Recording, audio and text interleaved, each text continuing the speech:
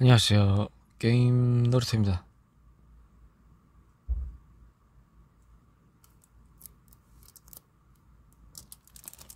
자, 이번에 새로 발매한 PS4 게임입니다.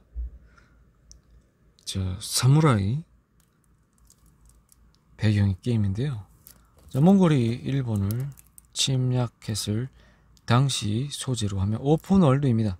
자, 그리고 게임 방식은 어세신 크리드 오디세이와 매우 유사합니다.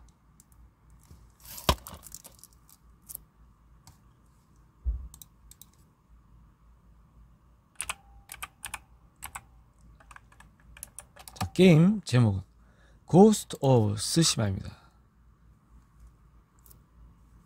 자, 발매일은 2020년 7월 17일입니다. 그리고 3인칭 오픈월드 액션 어드벤처고요.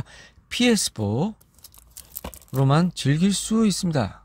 PC로는 불가하고요. 게임 엔진은 자체 제작 엔진을 사용했습니다.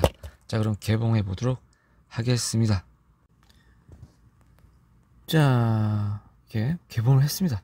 열어볼까요? 자, 이, 시- 이 게임은 CD가 몇 장으로 구성되어 있을까요? 짜잔, 한 장입니다. 제 초회 특전인데요. 디지털 콘텐츠 바우처는 다음을 포함합니다. 디지, 디지털 미니 사운드 트랙, 진 아바타, 진 다이내믹 테마를 코드를 준다고 합니다.